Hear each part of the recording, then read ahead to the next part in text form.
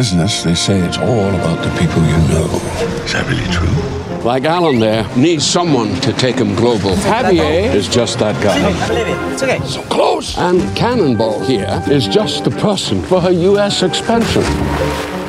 You'd never think Priya and Yuki San would do business together, But they will. so maybe it's not about the people you know, it's about the people you don't know.